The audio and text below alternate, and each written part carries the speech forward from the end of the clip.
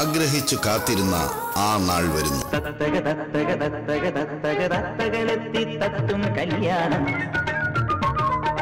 ഒത്തിരി ഒത്തിരി ഒത്തിരി ഒത്തിരി മുത്തുവിളക്കി ചേർക്കും കല്യാണം മുഹൂർത്തത്തിന് തൊട്ടു മുമ്പ് മുടക്കം ഞാൻ. വെല്ലുവിളികളും ആഘോഷങ്ങളും തുടരുമ്പോൾ ഇനി എന്ത് സംഭവിക്കും?